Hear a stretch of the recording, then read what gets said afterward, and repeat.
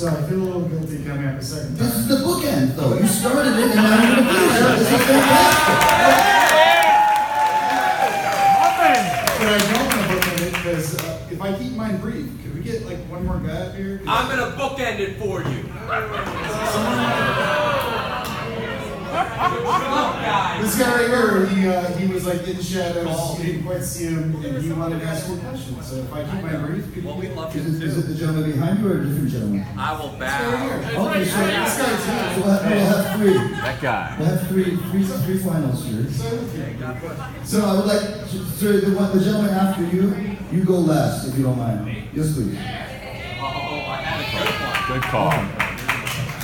So when you were talking about this being a banquet, uh, just that little word just kind of kept my mind going. I realized how much I love food. Mm. Like just all sorts of food. It's I also good. like not eating food. Like it's both. They're both are so hearty. Yeah. That that kind of balance between it throughout the day. Like you have to not eat food at some point during the day, and you have to eat food at some point during the day. So each Yeah. one of those moments is like a party to me. And so I kept my mind kept going all night, and let it wander. And I remembered that you know the person who inspired me most about food uh, was uh, my grandmother. I, she's she's not doing well. Uh, her heart is slowly degrading, and she will probably die in the next couple of years. Hopefully, she has more time than than, than I think might happen. But she was the one. So she she grew up in Iran.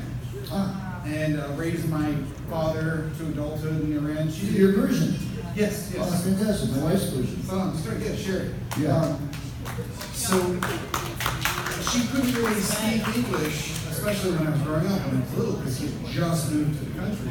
So she really couldn't talk to me. She couldn't tell me stories or anything like that, but she could cook, and it was she was always cooking. She was always showing me how to cook things. And and that that's kind of how I remember that was like the celebration when I was just in the kitchen cooking with my grandma and and I realized like that that that just was an epiphany just now, just sitting in, in front of you, listening to you talk. What gets me excited? What gives me joy?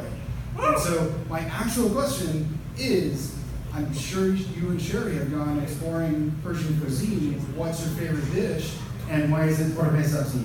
It's not ghormeh sabzi. Uh, people often assume that it would be.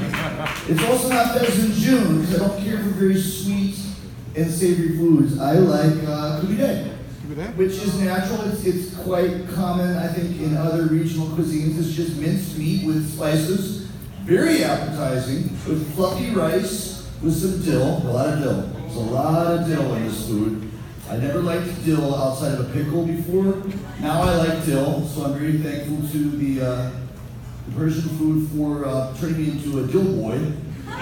And uh, I even like yogurt now. I like plain yogurt, all these things. Um, what I really like about what you said is, is how food can be used to bond and communicate even, much like music.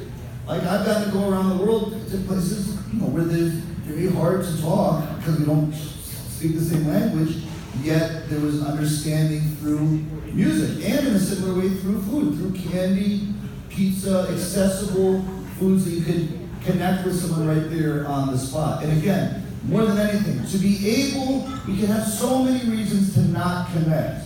All we need is that one to remind us that we're both human beings. And from there, we can grow and find that love, hopefully. Thank you. That was a beautiful illustrated. Thank you.